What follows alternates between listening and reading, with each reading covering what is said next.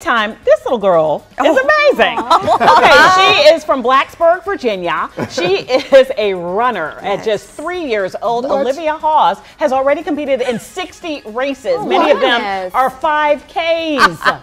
She's three. Anyway, of course, her nickname is Olympic Olivia. Her mom says she was walking when she was just eight months old and she was running before she turned one. The family says the Olympics uh, is a great goal for the future, but for now, they just want her to have fun. She Oh, is- look at her. Look at her stretch. She's okay. oh, ripped. She's a natural. She's got some biceps. Did you see her She's a natural She's little good. athlete. Look at all the babies running. Oh so cute. I didn't go Goodness, this is so cute. I could watch this all day. Nap time. Aww. Yay, go Olympic Make sure you double knot your laces. Yeah. That's so cute. Love it.